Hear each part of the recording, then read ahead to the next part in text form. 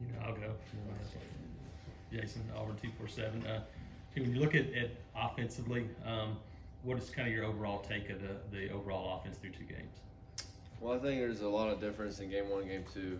Uh, a lot of mistakes in game two, obviously, early on. Uh, but we found a way to, to nip those in the bud and uh, found a way to win those games. But you know, there's a lot of growth early in the season. That's what you expect. You know, you're gonna have little mistakes here and there, but now it's time. You know, with Penn State coming to town, it's time to really hone in on the details um, and eliminate those mistakes moving forward. How, how explosive is it to, to create some more explosive plays, especially in the passing game moving forward, with teams probably you know paying more attention to the run here? Oh yeah, that's huge. Uh, that's what you know. That's part of the run game. When you have a good run game, that's what that's what you need to capitalize on is on the back end, uh, making big plays. And we've made some, but we've also uh, dropped some. We can't afford to do that moving forward.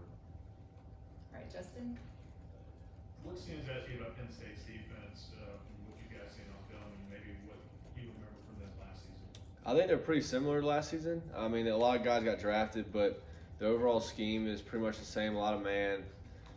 Um, so that's what we expect, and that's what really the SEC is too. It's all man to man, play a four down, uh, two backer box most of the time. So um, last year they're a very physical bunch. Big Ten is normally pretty physical football, so um, that's what we expect. And that's that's not really what we're we're not necessarily like not used to that in the SEC. So um, you know that's that's pretty much a normal week. But they're a good team.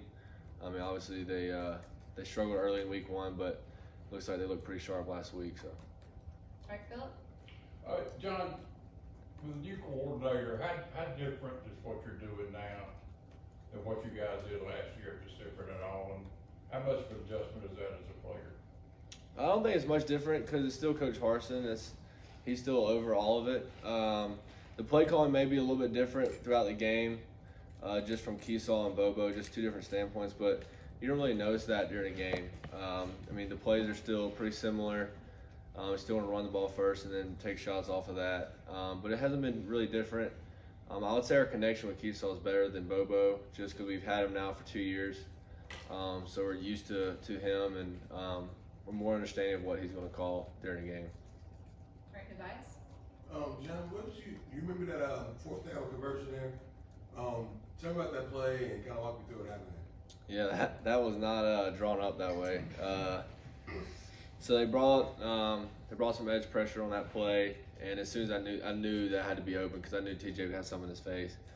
Um, so as soon as I turned around, I just waited for him to be able to dunk it off to me because I wasn't the first option or the second, I don't think. So, um, but yeah, he dunked it off, and then I just really followed my lineman back across the field to try and get the first down. All right, Mark.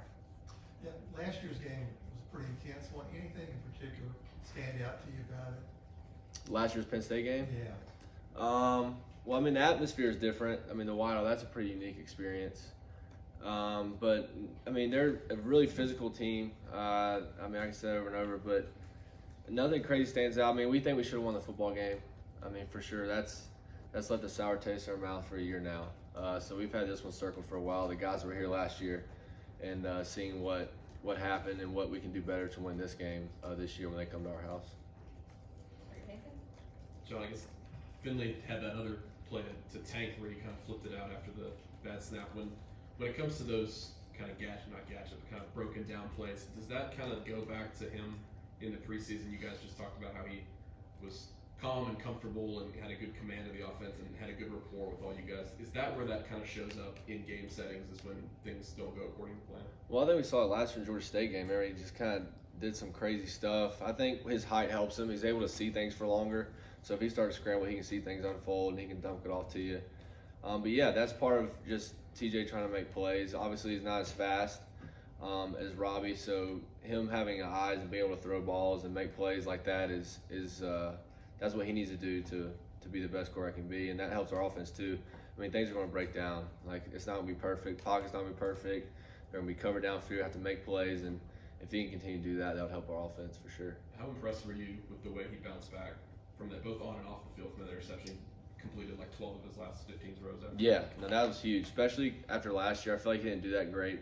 Like when things got hard, he last year he just didn't really take control. I thought this year he really did that, and especially this game, um, which is part of his maturity, I think, as a quarterback, and also being a leader too. Just not letting it phase him. Uh, obviously, it was still early in the game when those mistakes were happening, so we had time to make it up. But um, yeah, no, definitely a testament to him and really the whole offense for responding.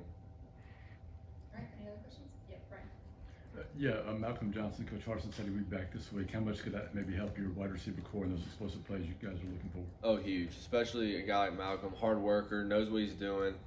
Um, so the effort and stuff's there with Malcolm. Uh, yeah, we missed him last week. He's a key part to the offense, just how things run on the offensive side of the ball, and he's a huge component to that. And we're happy to have him back. All right, John, first week you had two, y'all had two penalties. Uh, last week it was kind of a penalty fest.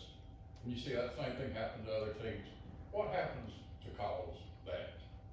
Uh, I think part of it's just I don't know why it was this week. It was like everyone did. Like I think Bama had like 15 or something.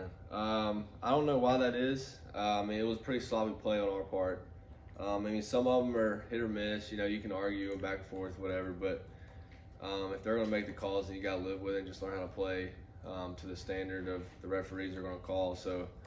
Um, it's really just knowledge of the game and knowing what you can and can't do in certain things, and just not letting yourself get in trouble um, on certain things, and you know, holding and blocking the back and stuff like that. John, um, Coach Harsin was saying that you guys probably missed some opportunities up at Penn State last year. That just knowing that you kind of had that chance and that you were going to see them again this year, did that loss kind of stick with you guys more than some others might have? Oh yeah, for sure. I mean, coming off that game, we just watching them celebrate in that environment. Um, that really hurt us last year. I thought early in the season that could have really helped us out last year, just confidence wise, because we felt like we had that game. We felt like we played well enough to win. Um, things just didn't go our way. We didn't execute in the second half very well. Um, so yeah, th- this week's definitely you know everyone needs to buy into this week, um, and this will get us off to a great start heading into conference play. All right, anything else?